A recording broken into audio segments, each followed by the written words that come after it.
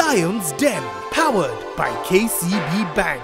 First in the den are two entrepreneurs looking to take their one-stop shop for online healthcare services to the next level.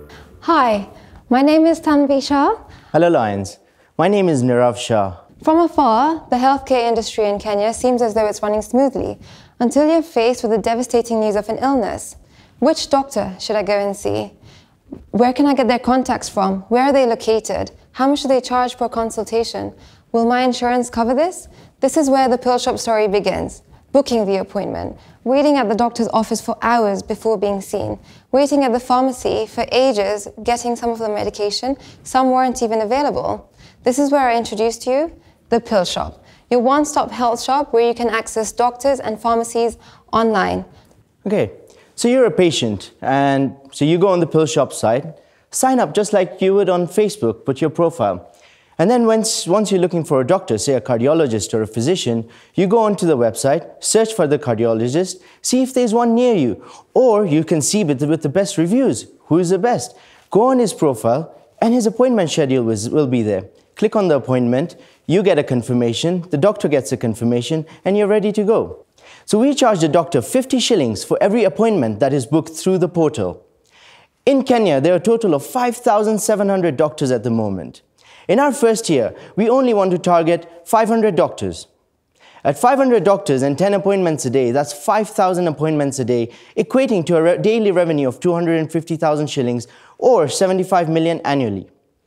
In our second and third year, we want to reach this target to 1,500 doctors and add the pharmacies, which is uh, phase two, and add the insurance companies, which is phase three, completing the whole ecosystem. I would like to ask for a 5 million Kenya shilling stake for 10% equity stake. Your year one revenue um, is projected at 75 million. 75 million. That's at 500 doctors. And what would be the, the profit on that, roughly? Uh, 50%. Net? Correct. Hi.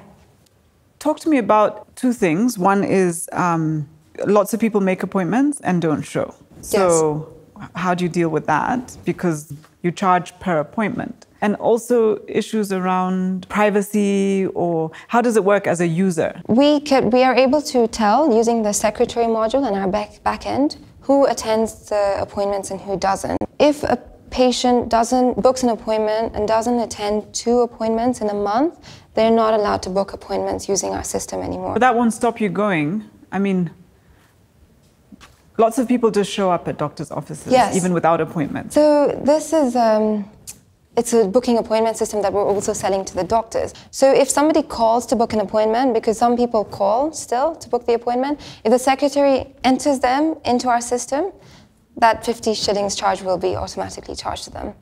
If somebody so even if in, they didn't come through your site? Yes. Remember we're giving the doctor a full system meaning his patient's data can be stored in there. The photographs of the patient the last record when he has to come uh, for his next uh, for his next appointment can be rescheduled and automated reminders. So all this just for 50 shillings. Every time you're going to go to a doctor's appointment first you need to call the doctor ask the secretary which times are available the secretary tells you, like, like we had our thing. And then she had to call me back, says, you know, he's available Monday or Tuesday. Are you available on those days? Well, then I have to call back the secretary and confirm again. All this was actually a kind of a pain, which we want to make it easy. I see the value in the system. I'm struggling with the way you're going to be billing for it. So if you're selling it as a system where they're going to manage a lot of their workflows and various, you know, um, information that needs to come in and out, almost like a mini sort of ERP system in a way for the doctors. I, I, get that, but if you, you know, people make appointments, change appointments. There's 50 shillings per appointment. To me, seems like a very strange but, but way. But that to, charges to the, the doctor, the doctor, yeah. not the patient. Yeah, but you want the doctors. The doctors have to be on board for this to work. The entrepreneurs clearly have a great idea, but is there enough value in their approach to billing for the service? I mean, is there, could there be a monthly charge instead of? She's asking what's the other monetization yeah. model you have for this. The concept is great. I deal with doctors a lot, so Correct. I know the convenience or inconvenience, but actually I'm probably one of those who shows up and just demands to be seen. Yeah. yeah. See, we uh, did think about mess the, up other people's calendars, but correct. The the, the I, I, see you saying, okay, don't charge the patient, charge the doctor, because the convenience of the ERP system is on the doctor's side. How else could you charge for this service? Okay, so when, when a patient doesn't show up, um, the doctor will basically either have to come up or we have to, we have to say that we're going to, you know, three appointments and then we're going to cancel off this patient off the list because, you know, you can't keep booking an appointment and not going. Uh, hi, guys. Uh, uh, yeah, my concern being you want to have at least to appoint a thousand doctors on a platform. Correct. Um, so question is, how do you vet these doctors and what happens also in case um, based on your reference, I go to a doctor and I'm, I'm, there's some kind of malpractice. Who takes the blame for that? So for the last bit, the doctor would take the blame for that. We've got terms and conditions on our website. We also have doctors' contracts that we sign with them. Obviously, if a patient is going, goes through our system but sees them and they're not happy with something or there's a complaint, that complaint goes directly to the doctor. We've gone to the Doctors and Dental Board. We've got their approval for our platform. Um, so each doctor who registers on our system, they have a registration number. With the risk of being referred to a doctor by a platform and something goes wrong, I'll blame the platform, not the doctor, right?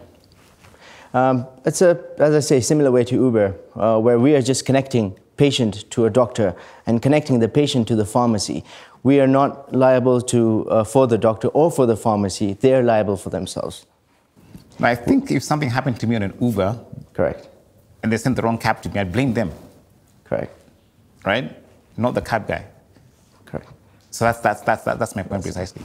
Right. Five million yes. to recruit 500 doctors is about 10,000 shillings per acquisition per doctor.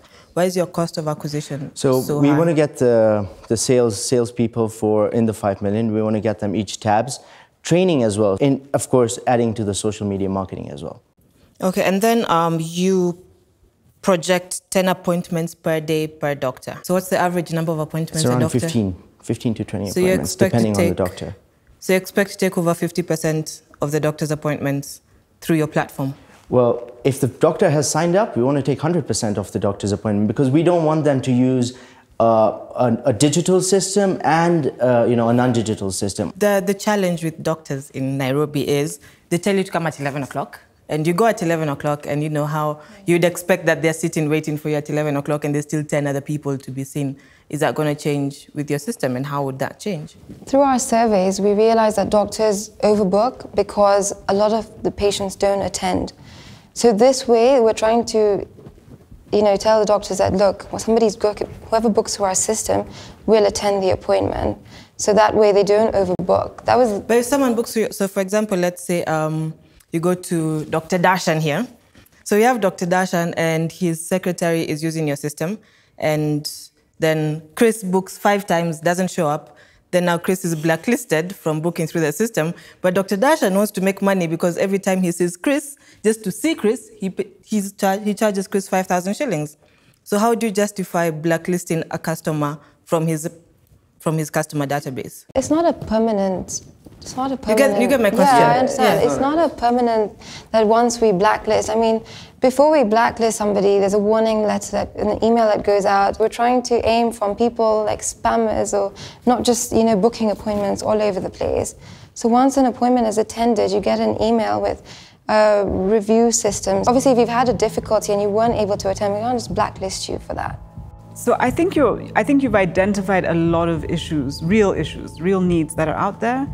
Um, my challenge is that I don't know that the solutions are so simple. Customers are still going to keep changing appointments and, and, and doctors won't want to blacklist them. I think you might struggle. It won't be as straightforward getting all these doctors to sign up. And I, I really don't think the way in which you want to bill um, will be that appealing to doctors. I just, I think it's addressing real needs, but I'm not convinced that you've thought through all the behavior change and the reasons for that reason. At this point, I'm out, but I, ho I hope you do something with it. Who created the system? We have a, our, one of our shareholders. He's in India.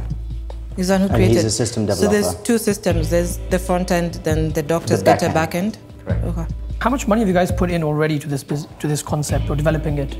Yeah. So we're putting, we have put in five million shillings. Uh, we're putting five million shillings cash, and five million shillings equivalent worth is uh, one of the founder that's basically sweat equity for the website. All right, guys. Um, I love the idea. It's the, oh, e, this whole e-health space. I think is growing very rapidly. Um, but what I see is a challenge, especially from doctors. who don't want to be held accountable. You know, they'd rather do a piece of paper and move things about than say, I was booked for 11 and I came at 11 and where's my booking? So I've, I've, it's happened to me before you book and it's shifted and it's moved by 48 hours. You can't claim, you have no claim against it. What I'd say is maybe focus on just first one thing at a time and then move to the next phase. Yeah, if you've got phase one, two, three, but your phase one has got another six phases within it, you see? Um, so um, I'd need more time to get into, into this kind of, uh, of, of project. That's for that reason I'm out. The idea is very noble. It's great. Um, there's a clear need for what you guys are doing, without a doubt. I would recommend that you at least get get get going with the platform, um, and then look at where is the traction coming. Tweak it, and I think you know you'll really have a much clearer business plan in terms of exactly where you want to take the shop, what the pipeline uh, looks like, and exactly where is the business headed. For that reason, I'm going to say I'm out. Thank you. So, guys. Um, I think if you'd had traction on the pill shop by itself, that alone is wow. Because it's uh, sometimes just an issue of convenience, being able to order it online have it delivered. Sometimes an issue of price comparisons between pharmacies. Other times an issue of availability of a particular drug. And I think that by itself is a model and strategic or there's enough pain in the, in the market to solve uh, successfully over there. On the back end, health management system, I happen to, I believe I have some of the contacts and the access that you need to do the back end in terms of collaboration with the government and the rest I could help with. But from an investment point of view right now, I'm out. Thank you. Um, so I'm interested. Um, like Chris said, the pill shop, what you've, what you've brought out is something very different, which I think has legs of its own.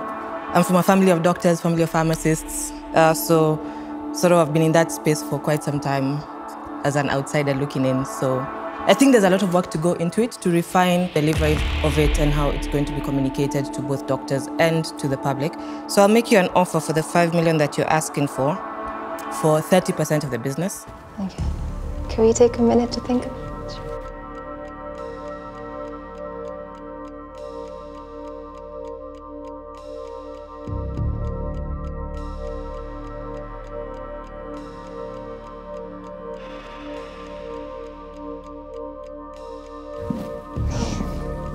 Okay, that's a little bit on the higher side. Um, the last offer that we can give is uh, five five million for uh, 12 percent. For twelve percent. Correct. Okay. I think we could do the least I could do, just because you said there's a couple of others is twenty percent.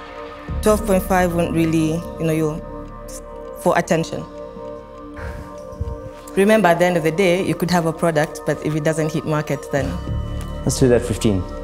No, 20 is good. All right, we've got a deal. Now, the good thing is, especially if the programmers are in-house, then things can be tweaked and worked out. Actually, we're a group of friends, and that was the reason for the for the it being in India. Lions Den, powered by KCB Bank.